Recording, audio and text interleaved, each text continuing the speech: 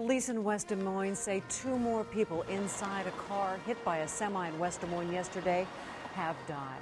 Good afternoon, everyone. Thanks for joining us today. Officials confirmed this morning that all four passengers inside a car struck by a semi truck late yesterday afternoon in West Des Moines have died. Police say the semi truck slammed into the car as it turned onto Jordan Creek Parkway from Des Moines Golf and Country Club. The driver and one of the passengers died at the scene. Two others were transported to area hospitals where they later died. Police also tell us that the driver of the semi, 43 year old Kenneth Snow, failed to stop for a traffic signal. Right now, the investigation is ongoing and charges are pending. Police have identified the victims in the crash. 86 year old Arlene Laughlin was driving the car. Her passengers have been identified as 85 year old Francis Scheckler, 83 year old Marilyn Harper, and 95 year old Margaret Bannister.